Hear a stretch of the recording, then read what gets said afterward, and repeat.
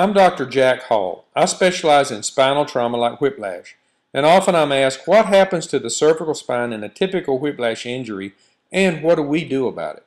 This short video will help clarify these questions. According to an article authored by the president of biomechanics at Yale University, the structures most often injured are the soft tissues, including cartilage, tendons, muscles, nerve, and ligament. This is a normal, non-injured cervical spine.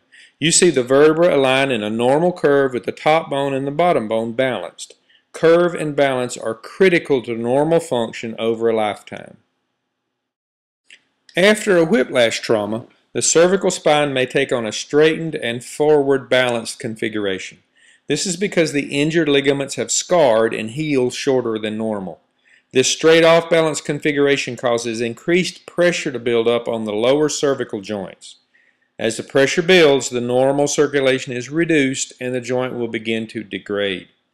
After some time, the bone will begin to show spurring, the disc will get increasingly thinner, and eventually degenerative disc disease will develop.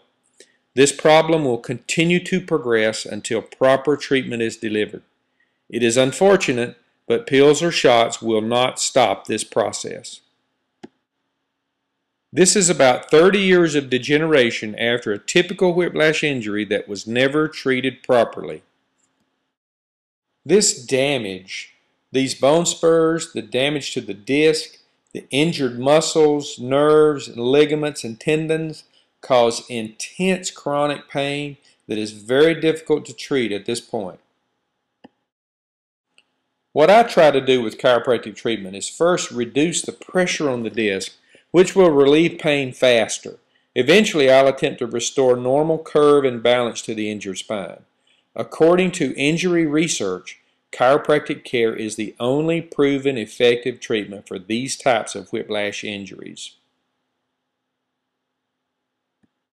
If you've had a whiplash injury or you've been in a car wreck, consult a chiropractor and find out if your injuries can be helped before too much damage has developed.